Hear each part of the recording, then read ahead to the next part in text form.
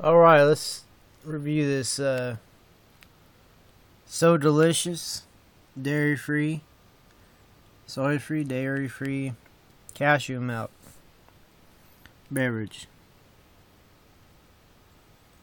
See how it's one word here? Supposedly, I think the dairy industry gets aggravated if you use the word milk. So, uh, maybe if they have it as a combined word, it's not technically by itself. I think that's some legal schmiegel. Um, unsweetened vanilla. So Walmart in uh, the last few years has started to stock interesting things. Uh, non-GMO and organic food, and um, this is uh, among the trend. And then you know special diets and whatever. Um. So yeah. I think this is the special diet diet crowd more or less. And so yeah.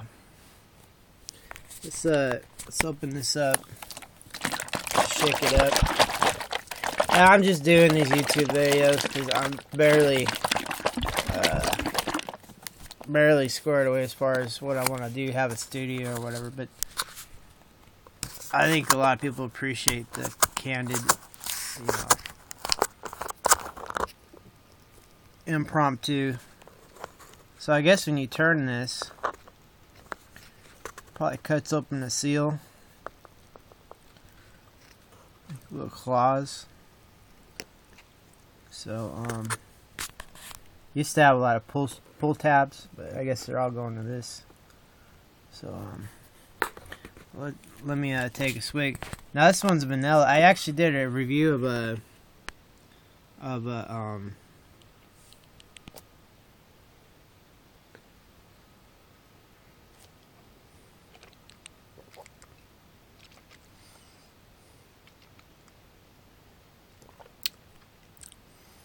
I'm not I'm not that um I actually never had cashew milk before. I like cashews, but uh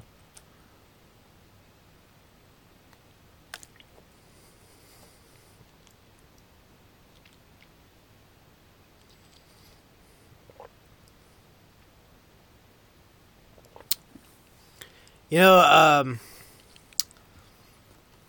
um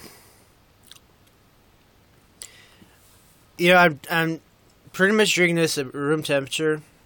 Maybe it's better cold. I've kind of noticed that these type drinks are better cold.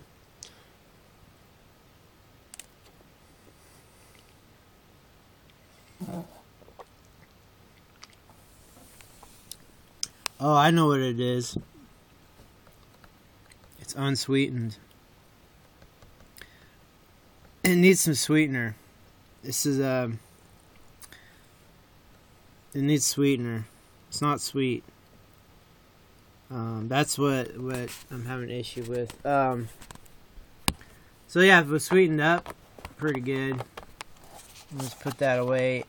Uh, as far as like if I I like chocolate soy milk. I like chocolate almond milk. But those are sweetened, obviously, and you know they add chocolate. This would be pretty good with a lot of other uh, nut milk, and I say milk, but I pronounce it M E M E L K. That way, I won't get in trouble with the the dairy.